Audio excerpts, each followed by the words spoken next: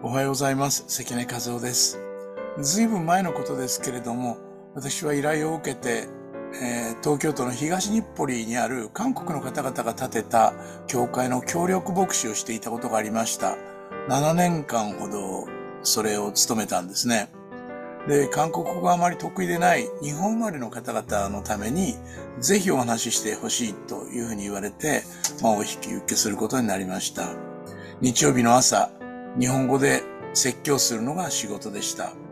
で、その礼拝が終わると今度は韓国語の礼拝がありました。人数的にはそちらの方がはるかに多かったし、また同時にそこには立派な聖歌隊があったりして、本当に何と言うんでしょう、素晴らしい礼拝が行われていました。でも、毎月第一礼拝、第一日曜日になると合同礼拝というのがあって、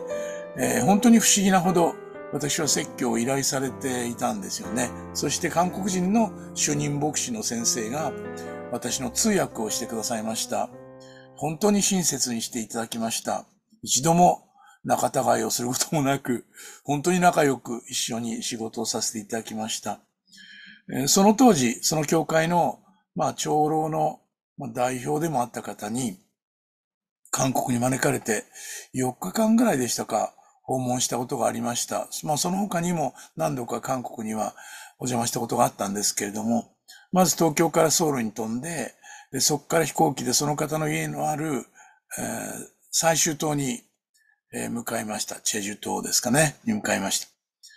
で、その島の教会でも説教し、教会関係者と対談し、ソウルに戻って、えー進学校で説教させていただきました。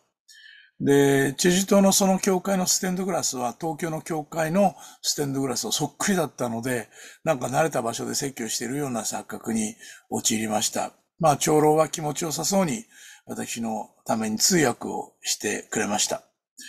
で、その長老のお宅に泊めていただいた時のことなんですけども、たまたま私は飛行機の中で、アイア国家という人の自伝を読んでいました。えー、まあそれをたまたま長老が見つけて、ああ、アイア国家かって言って、実は先週私この人と会ってきたよと言われて私びっくりしたんですけれども、アイア国家というね、あの非常に有能な実業家がいて、この人元フォード、車のね、フォード社の社長を務めて、で、私が本を読んでいた時代は、クライスラーの経営を立て直したということや、ニューヨークの自由の女神のその修復基金の代表者を務めたりして、まあ、ある意味で英雄視されていたという、まあ、そんな頃だったと思うんですけど、えー彼に会ってきたよという話を聞いてびっくりしました。それで、まあ、泊めていただいた、大きなお宅で泊めていただいた、あの、翌朝ですね、朝5時ちょっと前でしょうかね、から結構大きな声で、応接間からね、その長老さんの声が聞こえて、私韓国語わかりませんけれども、まあ韓国語で結構やりとりがあったんですね。で、ちょっとね、何か問題でもあったのかなと思ってちょっと心配になるほどだったんですけれども、しばらくして着替えをして、あの、応接間に行きますと、長老がニコニコ顔で待っていて、まあ食事の準備などをしながら、ああ、先生おはようございますと。私、今日はね、一日中先生とお付き合いしたいから、さっきまでの時間に、今日の仕事は全部終わりました。片付けました。とこう、言うんですよね。まあ政治的にも経済的にも、本当に大きな仕事をしていた長老だったんですね。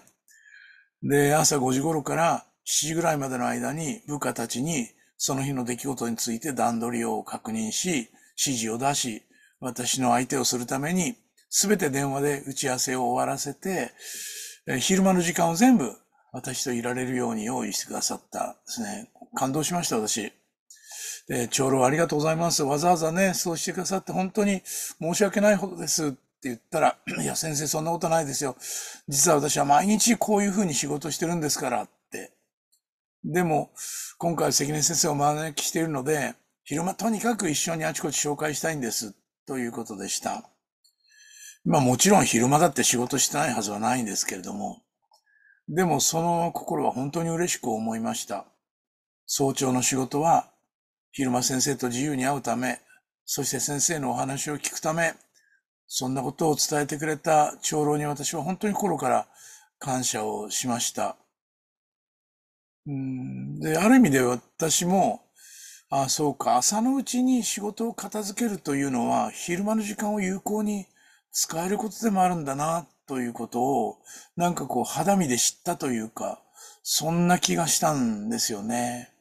島中を回り、元韓国の首相だった方との面談を準備し、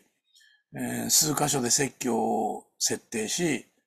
えー、進学校に行き、進学校で、まあ、やっぱりお話をさせてもらって、非常に充実した数日になりました。彼は自ら運転してくれました。大きなベンツで。本当に、あの、ありがたかったですね。愛されていたんだなということを心から思います。そしていてくれてありがとう。どれだけ伝えることできたかなと思うとですね、ちょっと後悔してるんですよね。えー、もうちょっとなんか、丁寧にそれを伝えておければよかったなと思う日々です。まあでもそんなことがあって、私はある意味で朝の仕事の大切さというか、朝のうちにとにかく片付けておけると、えー、その日の仕事の段取りがしやすくなるという、まあそんなことを自分の生涯の中で覚えるようになりました。うんですから、